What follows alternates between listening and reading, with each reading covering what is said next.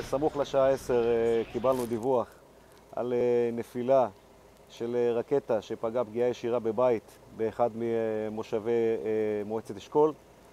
הגענו למקום יחד עם כוחות חבלה וצה"ל. הזוג ששהה בבית נהג כמצופה ממנו וכפי שמתחייב על פי הנהלים, נכנס לממ"ד עם הישמע אזעקה ולמעשה ככה נמנעה פגיעה בנפש. סך הכל יש פה פגיעה בעיקר ברכוש, נזק סביבתי לבית ולחצר.